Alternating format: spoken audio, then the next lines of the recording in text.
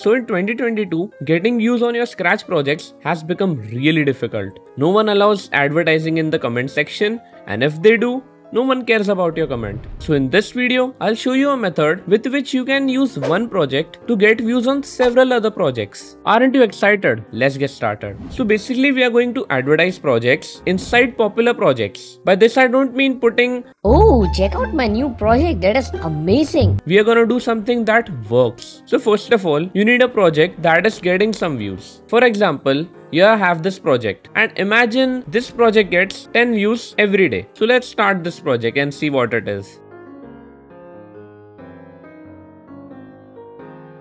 Okay, so this was a short animation and here you can see this screen. This is the end screen. Basically, when your project ends, this will show up and it will display two thumbnails. If the viewer clicks on any of them, it will show the link of that project. The viewer can copy and paste the link to see the respective project. Pretty cool, right? This way, the viewer will actually be interested in checking out your project because the thumbnail speaks louder than the link. If you want this, click on the link in the description and once the project has finished loading follow me. So first of all go to this project and then right click export. So you can see the sprite has been exported. Now go to the project you want to add this in. So this is my new animation. Here you can just choose a sprite upload sprite. Here you can just select that sprite we just exported in your downloads and click on open. And here you can see we have this. Now First of all, remove this broadcast the end. And then go to cat or whatever sprites you have. And at the end of the animation or your project just put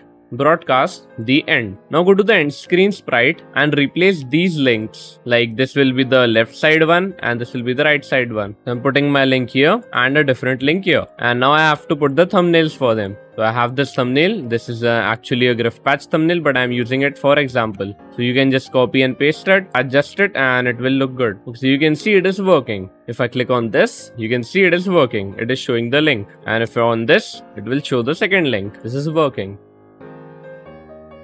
Okay, so if you face this problem of when you open the prompt, the project link list is here, you can just adjust it like this. Put it inside of this and it will work.